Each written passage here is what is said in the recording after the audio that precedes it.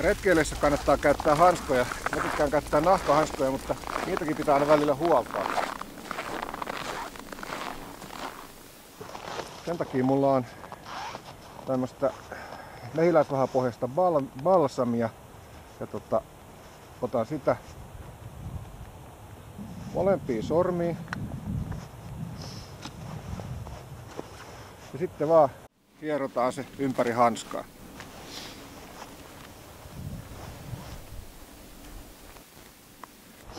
Tässä on nyt tärkeää se, että ei laiteta tätä liikaa, ei koko purkillista, vaan semmoinen sopiva määrä, että nyt tulee pikkusen nihkeeksi. Tää imeytyy hyvin ja tota, sitten voidaan taas, kun se kuivuu, niin ensi viikolla uudestaan, mutta nyt jos ne vedetään ihan täysin märäksi tuolla mehiläisvahalla, niin sitten ne vettyy ja menettää muotonsa.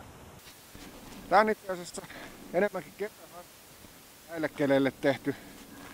Tää on Hestran Skulmanin hanska ja tähän näppärä siinä mielessä, että tää sormenkohta on pyöristetty, eli pystytään tekemään kaikkea erinäköisiä asioita.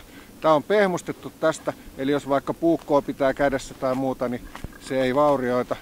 Ja sitten tässä on tää pitkä varsi. Se menee tonne hyvin takin hihan alle. Ja sitten tästä sitä tota, voi nykiä.